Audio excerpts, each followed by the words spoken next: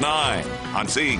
Good evening once again. Good to have you along here at 9 on the Z tonight. I'm David Oliver. In the news, professional golf can certainly be a dream job for a lot of people, but traveling and staying at hotels week after week could probably be exhausting.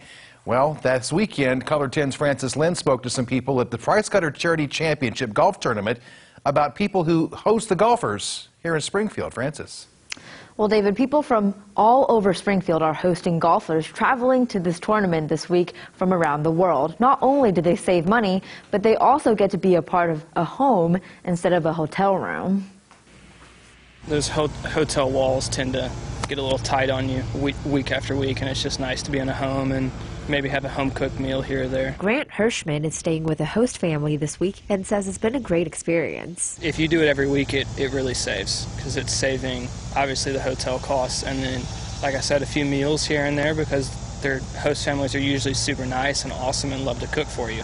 So that saves a little bit as well, and you add it up after the weeks and ends up saving quite a bit of money. It's a great savings for them. I mean, they're in hotels week after week after week. And these are the up and comers. These are the people that are trying to get to the PGA Tour, and uh, and uh, at this point, they're not making a great deal of money.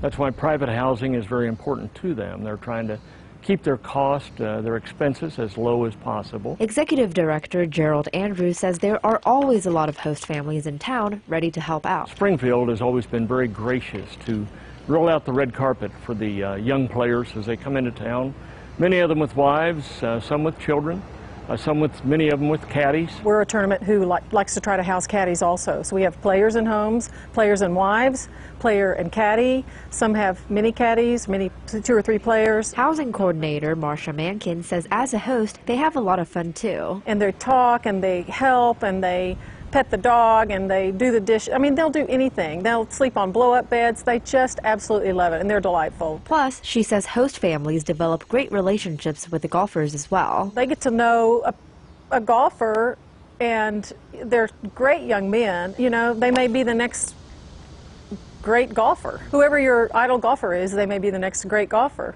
And we've had that happen in Springfield before. Host families are great. They save a lot of costs for you, and it's just nicer in general. I mean, we're always on the road. We don't get to really be in a house or a family atmosphere very much, so it's nice to be, be around family and get treated like you're part of the family.